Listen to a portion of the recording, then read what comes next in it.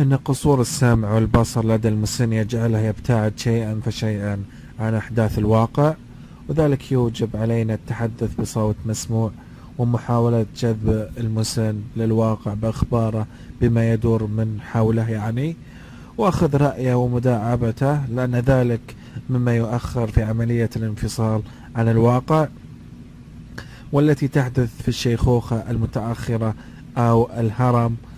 أن يتسع آه، صدرك لأسئلته عن كل شيء في أي وقت وأن تعرف أنك في يوم من الأيام انطلع بك آه، يعني العمر ستت يعني ستجلس في مكانه وتتصرف أيضا تصرفاته.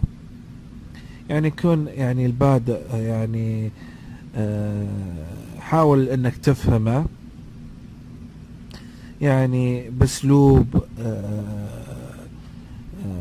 الخبرة وأيضا خلك يعني مبتسم. له أما إذا كنت يعني لا تراه يوميا يعني حاول حاول يعني إذا شفته آه، تصافحه أو تكون معاه أو تذكره بعض في بعض الأشياء القديمة التي كانت يعني يتذكرها في آه، عمر شبابه. فهذا يعني تساعد على التفاعل.